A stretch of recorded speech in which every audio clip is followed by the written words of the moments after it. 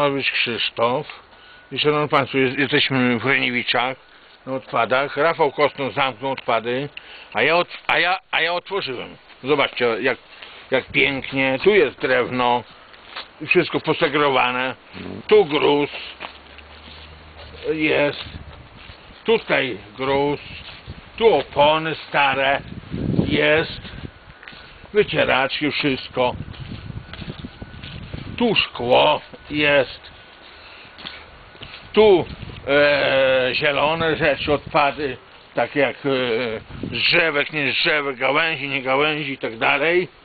Tutaj, tutaj folia jest, o plastyk, folia, tu papier, tu tekstylia, a tam elektrody są, a tu metale są. Tam. Bardzo pięknie. Mi się to podoba teraz.